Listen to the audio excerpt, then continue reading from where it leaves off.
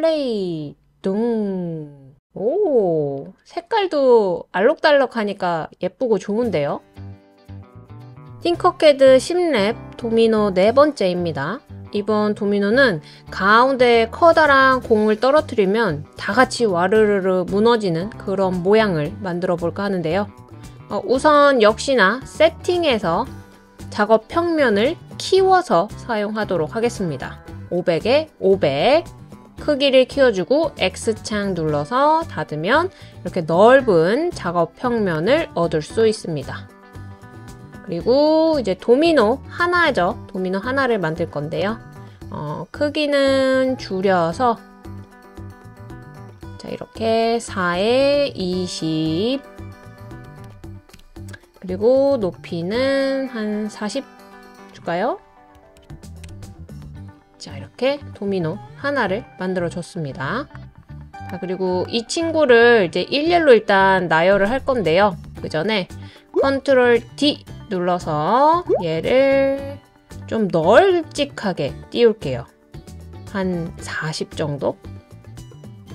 40 컨트롤 D 컨트롤 D 컨트롤 D 사실 이렇게 이제 널찍하게 세워버리면 사가 가서 보면 알겠지만 얘는 넘어져도 어, 이렇게 도미노가 끊기죠. 음. 자, 사실은 이제 여기에서 끝나려고 한 건 아니고요. 자, 이렇게 했으면 한 줄 전체 선택해서 컨트롤 D 눌러서요. 이번에는 이제 20이죠. 자, 20 중간에 띄워놓고 대신 하나, 둘, 셋, 넷, 다섯, 여섯, 일곱 한요 정도? 이렇게 지그재그로 놓으려고 합니다. 이렇게 그러면 이 상태에서는 이제 도미노들이 잘 쓰러지겠죠? 이렇게 와르르 잘 쓰러지죠? 자, 이렇게 놔서 사용을 할 건데요. 어, 색깔을 알록달록하게 바꾸도록 하겠습니다. 색깔은 여러분이 알아서 하세요. 자, 그리고 이거를 원형 패턴으로 둘 건데요. 원의 안쪽은 좁지만 점점 갈수록 원이 넓어지기 때문에 어, 도형의 일부분은 좀 더 크기를 선택을 해서 한쪽 방향으로만 크기를 키우도록 하겠습니다. 이쪽으로 이렇게 드래그해서 선택해서 한쪽 방향으로만 이렇게 조금 길게 초록색은 왠지 길면 겹칠 것 같으니까 살짝.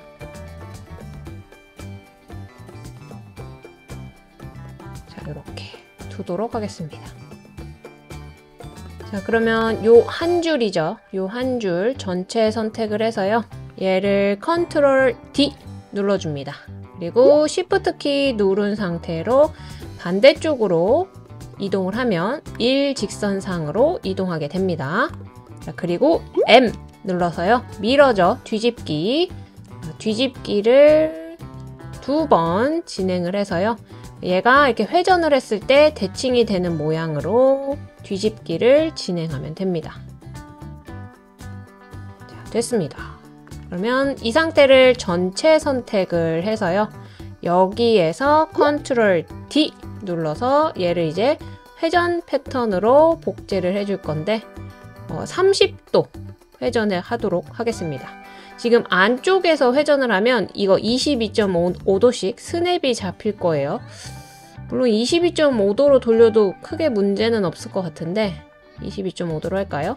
바깥쪽으로 크게 돌리고 싶다면 여기 바깥쪽으로 마우스 커서를 멀리 둬서 회전을 하면 됩니다. 이 상태로 컨트롤 D, 컨트롤 D를 반복적으로 눌러주면 이렇게 원형으로 배치가 완성이 됩니다.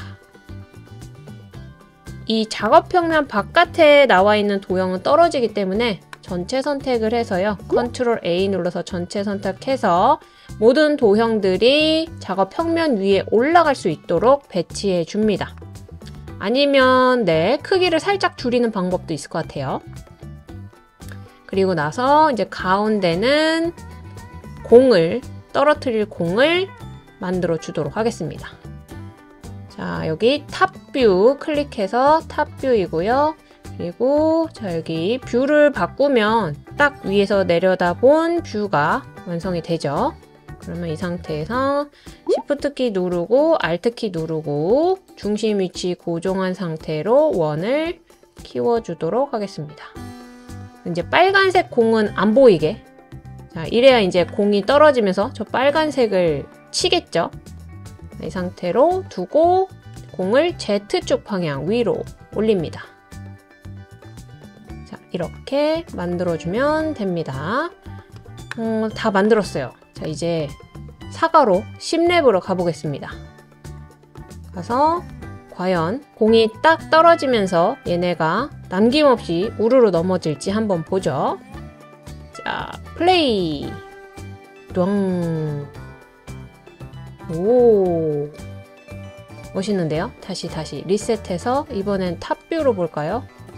탑뷰로. 탑뷰로. 플레이. 뚱. 오. 색깔도 알록달록하니까 예쁘고 좋은데요? 자, 이렇게 해서 원형 패턴으로 도미노를 놔서 우르르 무너지는 모양을 만들어 봤는데요. 여러분은 어떤 도미노를 디자인하고 있나요?